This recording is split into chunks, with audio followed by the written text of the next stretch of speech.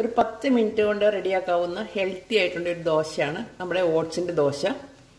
അതിന് നിസ്സാര ചേരുവകൾ ചേർത്താൽ നമുക്ക് നല്ല ടേസ്റ്റ് ആയിട്ട് ചെയ്യാൻ പറ്റും. അപ്പോൾ ഞാൻ ഒരു കപ്പ് ഓട്സ് എടുത്തിട്ടുണ്ട്. അതായത് ഇരുന്നൂറ്റി അമ്പത് ഗ്രാം ഓട്സ് എടുത്തിട്ടുണ്ട് കേട്ടോ.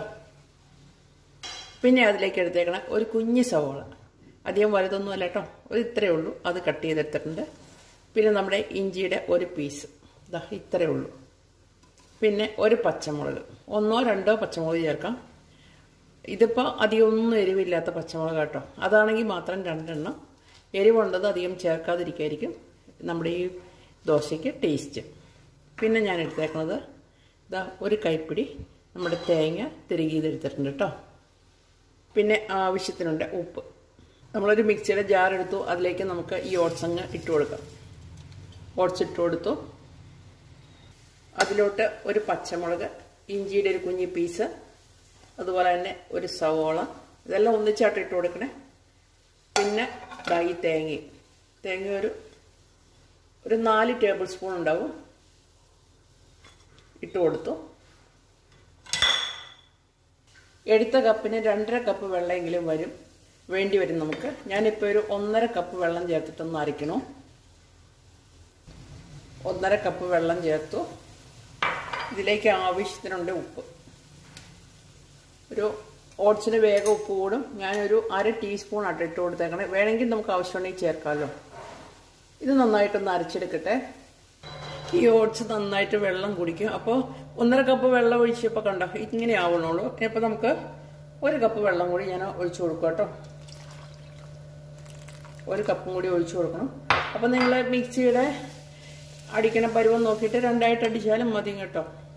ഒന്നിച്ച് അടിക്കണം എന്നില്ല രണ്ടായിട്ട് അടിച്ചെടുത്താലും മതി. എന്നുവെച്ചാൽ ഓട്സ് നന്നായിട്ട് വെള്ളം കുടിക്കുക അപ്പോൾ നമ്മളിതൊന്ന് അരച്ചെടുക്കട്ടെ. ഞാനിപ്പോൾ ചേർത്ത് വെള്ളം വെച്ചിട്ട് ഇതാ ഈ പരുവത്തിന് കിട്ടിയിട്ടുണ്ട്. കണ്ടോ?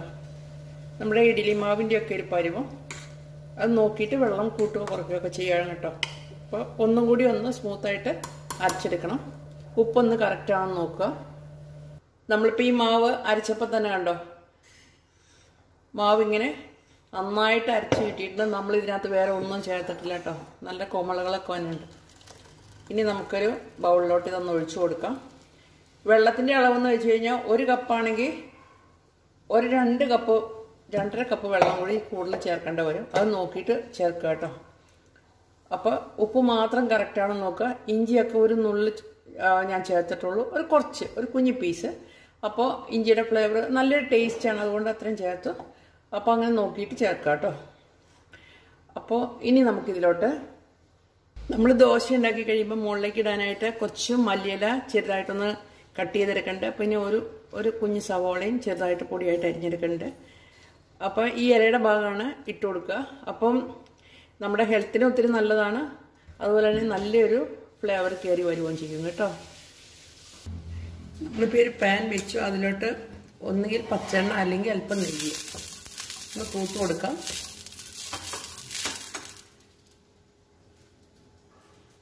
ദോശക്കല്ല് ചെയ്യണമെങ്കിൽ നെയ്യ് തൂക്കണം കേട്ടോ. പച്ചെണ്ണ തൂത്താൽ മതി. അതിനുശേഷം നമ്മൾ മാവ് ഒഴിച്ച് കൊടുക്കണം. ഒരു അതിനുശേഷം നമുക്ക്